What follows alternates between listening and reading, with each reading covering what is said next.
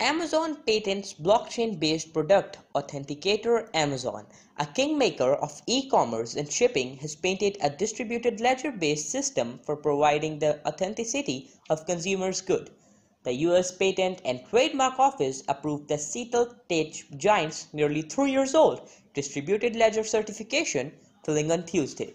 The patent describes using DLT to infuse digital trust from the first mile of an item's supply chain to the last.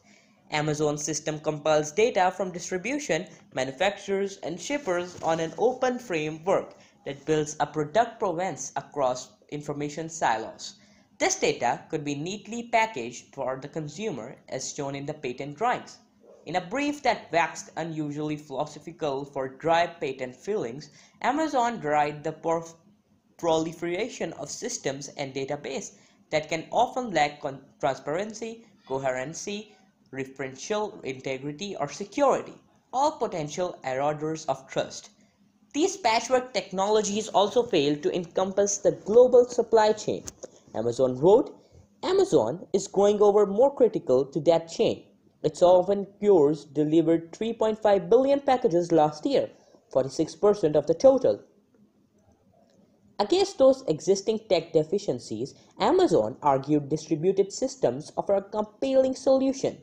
It said DLT can protect data for alteration, remove single points of failure, and avoid managerial problems of centralized authorities like bottlenecks.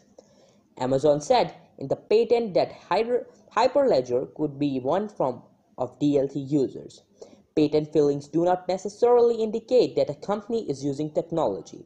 Earning trust, trust is earned, wrote Amazon, whose Garganet e marketplace is awash in counterfeits. According to the US government, once trust is lost, it can often be difficult to regain. Last year, Amazon launched a counterfeit detection initiative called Project Zero that attempts to intercept pony goods. Amazon official told the Wall Street Journal in 2018 the company would spend billions of dollars fighting fakes. It was unclear at press time Friday if DLT has played a role in either effort. US lawmakers remain wary of Amazon's counterfeit product problem. The buying public is decidedly more trusting. Nearly 39% of re respondents to a morning consult poll said they trusted Amazon a lot. Only the United States Postal Service, which delivers 30% of Amazon packages, ranked higher.